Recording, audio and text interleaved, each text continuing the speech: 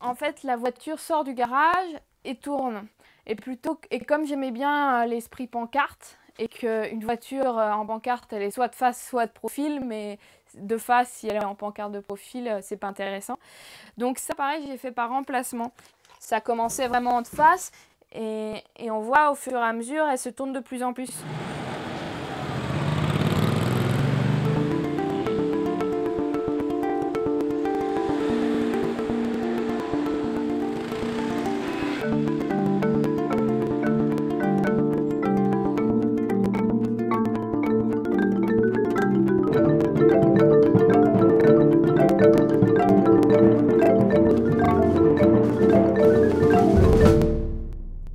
Toujours adoré euh, dessiner, etc. Donc je me suis précipitée pour rentrer enfin dans une école d'art. Et justement, cette école-là m'a permis d'ouvrir mon champ de vision. Euh, j'ai découvert euh, plein de nouvelles techniques. donc moi, à ce moment-là, j'étais très très embarrassée. Je voulais rien abandonner. je venais de tout découvrir et je, voulais continuer à faire tout en même temps. Donc j'ai un peu choisi l'anime par élimination, en me disant qu'est-ce qui me permet de continuer à toucher à tout? Moi, je me disais, allez, on va essayer. Penser que la variabilité de l'état d'une personne est due aux autres. Ce serait bien trop facile. Non. Le vrai problème, c'est elle. Moi? J'ai fait un, court métrage qui s'appelle Pistache. C'était mon film de fin d'études, mais il a bien marché dans les festivals. Et c'est avec ce film que j'ai rencontré euh, Michel Gondry.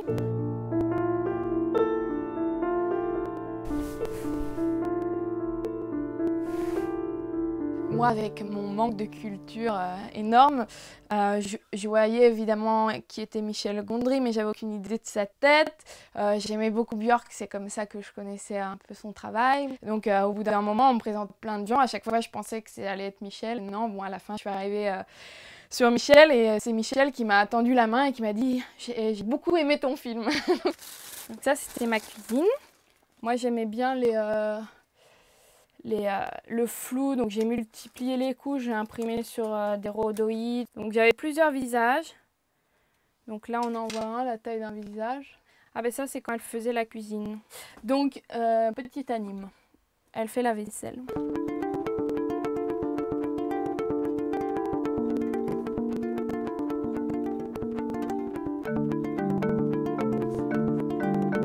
Tiens, il va y avoir un incendie dans le micro-ondes Plus de fumée.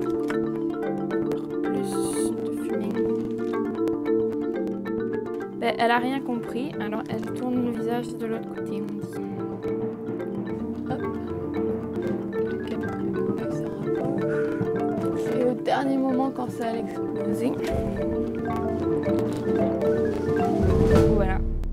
Et ma petite histoire est finie. Et c'est ça que j'aime bien euh, dans l'animation, c'est que trois fois rien, tu peux raconter euh, toutes les histoires qui te passent par la tête euh, en trouvant des, euh, des, moyens, des astuces pour, euh, mettre ça en, en image.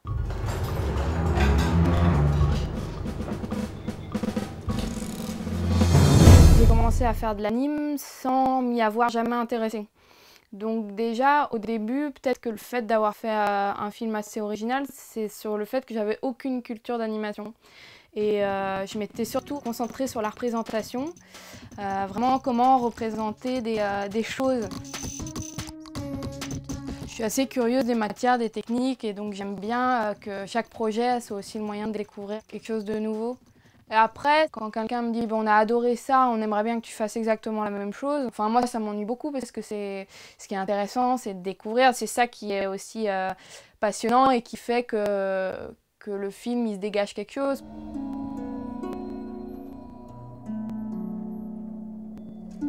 Il y a deux types d'animation dans la science des rêves.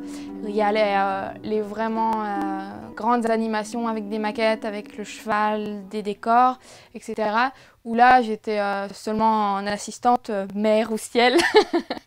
et il y avait aussi tout ce qui se passait dans la Stéphane TV. Welcome back to another episode of télévision éducative. Je me suis vraiment concentrée moi sur cette pièce-là. J'ai fait plein plein plein de jingles. Euh, Michel me laissait assez libre, il m'avait décrit l'univers et puis il disait amuse-toi, crée des trucs. Mais c'était c'était vraiment bien parce que c'était mon premier contact avec la vie professionnelle. J'étais encore à l'école à ce moment-là.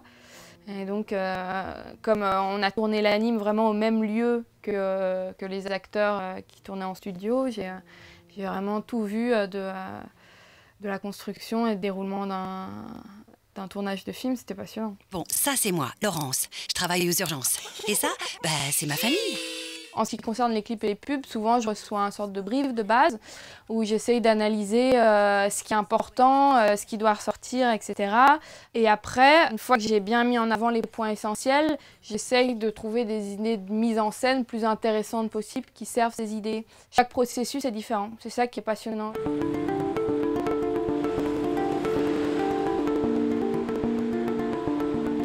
Donc là, euh, on est à Partisan. Partisan, c'est euh, ma maison de production, celle qui me représente. Euh, elle produit des clips et des pubs. donc en ce moment, hier, j'ai appris que je venais de gagner une, pub. c'est pour Daddy Sucre. voilà, du petit sucre en morceaux, etc. Et donc pour ce projet-là, j'ai décidé de le faire en puppet, pas en animation. Et là, je, je vais rencontrer le fabricant de puppet.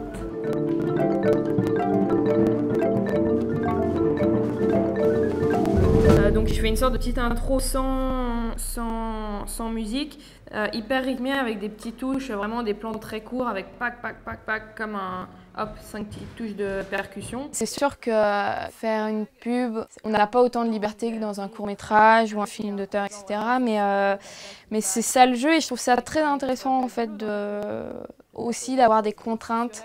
C'est comme des petits exercices en fait. J'aime assez euh, jouer le jeu de respecter ce qu'ils veulent et, de, et dans ces contraintes euh, assez euh, étouffante, essayer de trouver un truc intéressant avec ça. Et je pense que ça nous amène à trouver des idées qu'on n'aurait pas eues si on, nous donnait sans cesse des cartes blanches. Donc j'imaginais qu'il pouvait y avoir trois petits socks puppets qui sortaient euh, d'un coin euh, assez petit et très très simple. quoi. C'est important parce que le jour du tournage, on ne devra pas perdre une demi-heure à chercher de savoir comment il va venir le paquet. Bien sûr, oui. J'adore travailler en groupe. C'est un moyen de découvrir plein de choses. Et après, évidemment, il faut que, faut que ça se passe bien. Ça ne doit pas être rempli de concessions euh, parce qu'on n'est pas d'accord, etc.